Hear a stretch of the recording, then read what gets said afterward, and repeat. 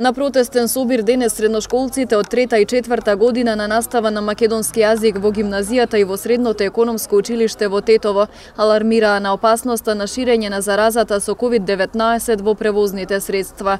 Вела дека во нив не се почитуваат протоколите и често има преголем број патници, поради што учениците од селата се изложени на ризик. Покрај тоа бараат и поголема хигиена во училиштата.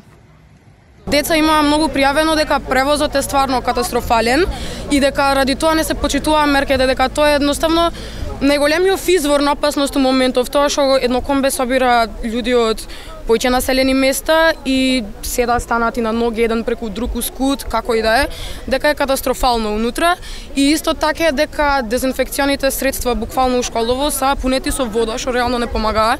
Така да сакамо и тоа да ни достава ко у свака училница да има еден убав прибор за хигиена што може да да се води, значи да има дезинфектор, да се проветрува училнице свекојаш, значи и све тоа. И родителите стравуваат особено повеста за смртта на 16 годишното девојче како последица од COVID-19, кое беше ученичка во економското училиште.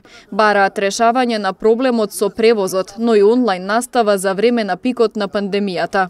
Ние не би сакале да дојде до такви неубави работи, да, да почнат децата да, да не се разболуваат, па и не дај Боже да заврши со смртен случај, па после тоа да реагираме. Значи, нареднава недела ќе одат на училиште. Ама во тие пет дена, ако не се реши барем едно од нивните барања, од следниот понеделник повторно ќе продолжат со, со бойкот на настава. Од новото раководство на локалната самоуправа вела дека досега не биле запознаени со барањата на средношколците и нивните родители и ги повикуваат на заедничка средба за изнаоѓање решение.